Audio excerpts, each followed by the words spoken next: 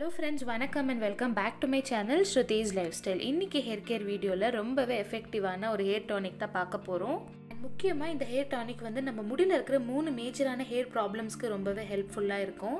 And ரெகுலராக இந்த hair tonic வந்து நம்ம யூஸ் பண்ணிட்டு வரும்போது நம்ம முடி வளர்ச்சி வந்து நல்லாவே அதிகரிக்கும். முக்கியமாக முடி கொட்டுறது வந்து நல்லா கட்டுப்படுத்தும்.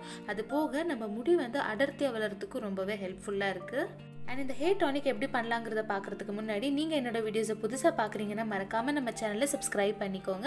ஜஸ்ட் ஃபியூ செகண்ட்ஸ் எடுத்துக்கோங்க. பக்கத்தில் இருக்கிற பெல் ஐக்கனும் ஆல் ஆப்ஷனும் கிளிக் பண்ணிக்கோங்க.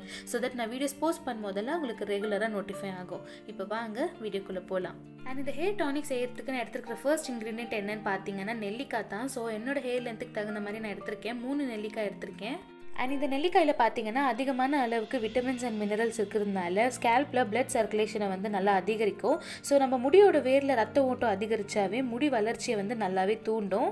அது மட்டும் இல்லாமல் ரெகுலராக நம்ம யூஸ் பண்ணும்போது இல்லை இன்டேக்காக எடுத்துக்கும் போது நம்ம முடி கொட்டுறதை வந்து ரொம்பவே கட்டுப்படுத்தும்.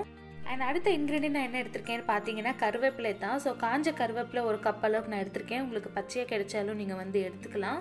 அண்ட் எல்லாருக்கும் தெரிஞ்ச மாதிரி தான் கருவேப்பிலை வந்து நம்ம ஸ்கேல்ப்பை வந்து மாய்ஸ்சரை வச்சுருக்கிறதுக்கு ரொம்பவே ஹெல்ப்ஃபுல்லாக இருக்குது முக்கியமாக நம்ம முடிய கருமையாகவும் அடர்த்தியாகவும் வளர்கிறதுக்கு ரொம்பவே ஹெல்ப்ஃபுல்லாக இருக்குது அண்ட் முக்கியமாக இந்த கருவேப்பிலையில் அதிகமான அளவுக்கு ஆன்டி ஆக்சிடென்ட்ஸ் இருக்கிறதுனால நம்ம ஸ்கேல்ப்பை வந்து எப்போவுமே ஹெல்த்தியாக வச்சுருக்கோம். முக்கியமாக இதில் அதிகமாக ப்ரோட்டீன் சத்து இருக்கிறதுனால நம்ம முடிக்கு தேவையாக இருக்கிற ப்ரோட்டீனுக்கும் ரொம்பவே ஹெல்ப்ஃபுல்லாக இருக்குது அண்ட் அடுத்ததான் வந்து நான் வெங்காயம் எடுத்திருக்கேன். ஸோ பெரிய வெங்காயம் தான் எடுத்திருக்கேன். உங்களுக்கு சின்ன வெங்காயம் கிடைச்சாலும் நீங்கள் யூஸ் பண்ணலாம். இன்னுமே நல்லது தான் அண்ட் முக்கியமாக வெங்காயம் யூஸ் பண்ணி முடி வளரலன்னு யாருமே சொல்ல முடியாது. ஸோ அந்த மாதிரி ரொம்ப எஃபெக்டிவான ஒரு இன்க்ரீடியண்ட்டும் கூட.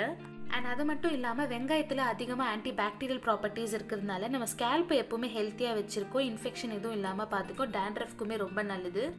அண்ட் அடுத்ததான் நான் எடுத்துக்கிற இன்க்ரீடியன்ட் பார்த்தீங்கன்னா இஞ்சி தான். ஸோ என்னோட ஹேர் டானிக்ஸ்லாம் நான் இஞ்சி பர்டிகுலராக எடுத்துப்பேன். ஏன்னா ரொம்பவே நல்லது நம்ம ஸ்கேல்ப்புக்கு அண்ட் அது மட்டும் இல்லாமல் முக்கியமாக இதில் ஆன்டி மைக்ரோபியல் ப்ராப்பர்ட்டிஸ் இருக்கிறதுனால வெங்காயத்தோட இஞ்சி சேர்த்து நம்ம யூஸ் பண்ணும்போது நம்ம முடி லாங்காகவும் திக்காகவும் வளர்றதுக்கு ரொம்பவே ஹெல்ப்ஃபுல்லாக இருக்கும்.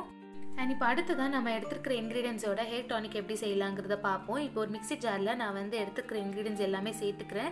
வெங்காயம் அதுக்கப்புறம் இஞ்சி கருவேப்பிலை சேர்த்துக்கிறேன். முக்கியமாக பார்த்தீங்கன்னா உங்கள் ஹேர் லென்த்துக்கு தகுந்த மாதிரி மட்டும் நீங்கள் எடுத்துக்கோங்க. அதுக்கப்புறமா நெல்லிக்காய் வந்து நான் பொடிசை நறுக்கி எடுத்திருக்கேன்.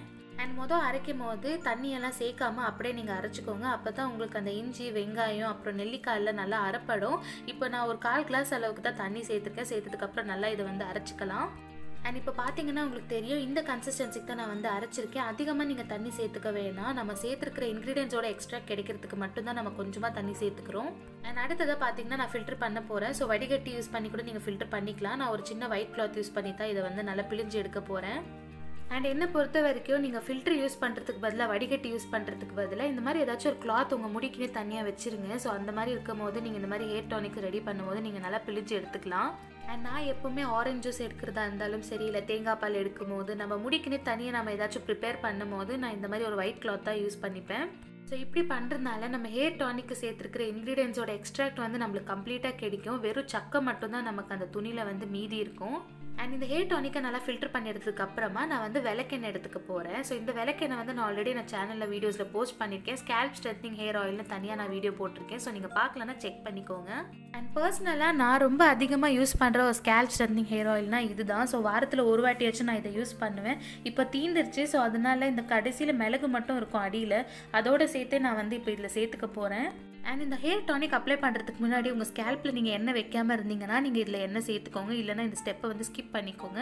ஆல்ரெடி தலைக்கு எண்ணெய் வச்சுருந்தீங்கன்னா நீங்கள் அப்படியே இதை யூஸ் பண்ணிக்கலாம். அண்ட் என்னோட ஆயிலி ஸ்கேல்ப்பில் தான் உங்களுக்கு நான் அப்ளை பண்ணி காமிக்க போகிறேன் ஸோ உங்களுக்கு காமிக்கணுங்கிறதுக்காக நான் இதில் வந்து ஒரு டீஸ்பூன் மட்டும் தான் விளக்கெண்ணெய் எடுத்துக்கிட்டேன். அண்ட் அவ்வளோ தான் ரொம்பவே எஃபெக்டிவான ஒரு ஹேர் டானிக் வந்து ரெடி ஆயிடுச்சு ஸோ இதை வந்து எப்படி ஸ்டோர் பண்ணலான்னு பார்த்தீங்கன்னா இந்த மாதிரி பம்ப் மாதிரி இருக்கிற பாட்டில் யூஸ் பண்ணலாம். இல்லைனா ஸ்ப்ரே பாட்டில் கூட நீங்கள் யூஸ் பண்ணி ஸ்டோர் பண்ணி வச்சுக்கலாம். அண்ட் முக்கியமாக இந்த ஹேர் டானிக் வந்து ஏதாச்சும் ஒரு பம்ப் பாட்டில் இல்லைன்னா ஸ்ப்ரே பாட்டில் இந்த மாதிரி மட்டும் யூஸ் பண்ணுங்கள் நீங்கள் கையில் எடுத்து வெறும்னே தடவும் போது ரொம்பவே வேஸ்ட் ஆகும் உங்களுக்கு. அண்ட் இந்த ஹேர் டானிக்கை நீங்கள் எப்படி ஸ்டோர் பண்ணலான்னு பார்த்தீங்கன்னா நான் பொதுவாக எனக்கு ஃப்ரெஷ்ஷாக ப்ரிப்பேர் பண்ணி யூஸ் பண்ணுறது தான் பிடிக்கும். ஸோ ரொம்ப நாளாக நான் ஸ்டோர் பண்ணி வச்சுருக்க மாட்டேன். ஒரு வாரம் கூட நான் ஸ்டோர் பண்ணி இது வரைக்கும் வச்சதில்லை. ஸோ ஒரு நாள் முன்னே நான் ஸ்டோர் பண்ணியிருக்கேன் மறுநாள் வந்து நீங்கள் அதை அப்ளை ஸ்கேல்பில் அப்ளை பண்ணிக்கலாம். அண்ட் முக்கியமாக பார்த்தீங்கன்னா இந்த மாதிரி ஹேர் டானிக்ஸ் வந்து நம்ம வீட்டில் ரெடி பண்ணுறதுனால ரொம்பவே நேச்சுரலான ஒரு இன்க்ரீடியன்ஸ் யூஸ் பண்ணி தான் நம்ம ரெடி பண்ணுறோம் இல்லையா? ஸோ நம்ம எந்த ப்ரிசர்வேட்டிவும் இதில் சேர்க்க போகிறதில்ல ஸோ அதனால் முடிஞ்ச அளவுக்கு ஸ்டோர் பண்ணாமல் ஒன் டைம் யூஸாக மட்டும் நீங்கள் யூஸ் பண்ணிக்கோங்க. அண்ட் கொஞ்சம் மீதி ஆயிடுச்சு நான் அதை வந்து ஸ்டோர் பண்ணி வச்சு தான் ஆகணும்னா நீங்கள் அடுத்த வாட்டி தலை குளிக்கும் போது நீங்கள் யூஸ் பண்ணிடுங்க இப்போ இந்த ஹேர் டானிக்கை நான் என்னோடய ஆயிலி ஸ்கேல்ப்பில் உங்களுக்கு அப்ளை பண்ணி காமிக்கிறேன். அண்ட் எப்போவுமே எந்த ஹேர் டானிக்ஸ் யூஸ் பண்ணும் போதும் கூட நீங்கள் ஒரு வாட்டி பம்ப் பண்ணும் போதே நல்லா உங்கள் ஸ்கேல்பில் வந்து மசாஜ் கொடுத்துக்கிட்டே அப்ளை பண்ணுங்கள் ஸோ இப்படி பண்ணுறதுனால என்ன ஆகும்னா நம்ம யூஸ் பண்ணுற ஹேர் டானிக்கோட சத்து வந்து கம்ப்ளீட்டாக நம்ம ஸ்கேல்புக்கு போய் சேரும். முக்கியமாக ரத்த ஓட்டம் நல்லா அதிகரிக்கும் நம்ம முடியோட வேரில்.